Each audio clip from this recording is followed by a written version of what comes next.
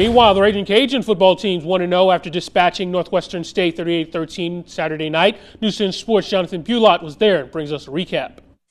The Raging Cajun Revenge Tour is off to a hot start. The Louisiana offense was firing on all cylinders against Northwestern State in their 2023 home opener. Ben Wooldridge was stellar in his return from a 2022 season ending ACL tear. Ben 10 would throw for 223 yards and three touchdowns, as well as adding another touchdown on the ground. You know, I told him after the game, I said, if you thought you were going to come back and not have any rust, I mean, you know, I mean, you're, you're kidding yourself. But um, no, I'm proud of Ben. I mean, he goes out there, he stands in there. We did not protect very well tonight. That was disappointing, um, to say the least.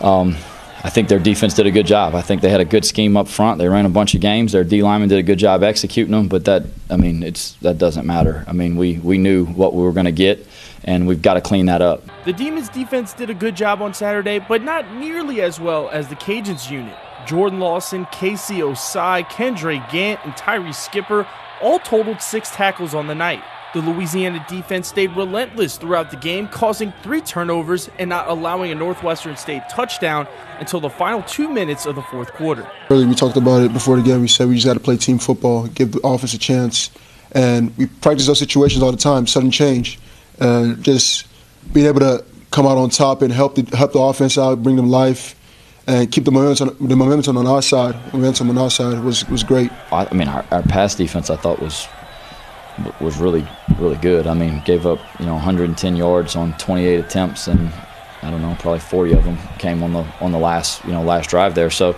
Um, I, you know, I think it's it's really big for us. Louisiana will take the Cajun Revenge Tour on the road next week for their first conference matchup against Old Dominion.